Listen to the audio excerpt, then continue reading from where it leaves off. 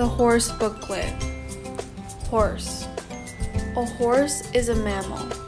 It is covered with hair and nurses its young. It was one of the first animals to live and work with humans. Head. The head has the eyes, nose, mouth, and ears. The teeth are good for cutting and chewing grass. Neck. The neck connects the head with the rest of the body. It helps the horse to hold its head up to see around. Forelegs. The forelegs are the two front legs. They have bones that are like the bones in human arms. Hooves.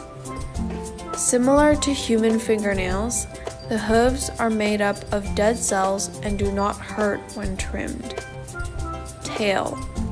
The tail has very long, strong hair.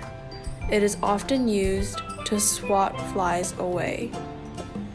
The hind legs.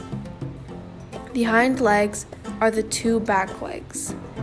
They have bones that are like the bones in human legs. Torso. The torso houses and protects the inner organs such as the heart and lungs. Mane. The mane is the long hair on the back of the neck.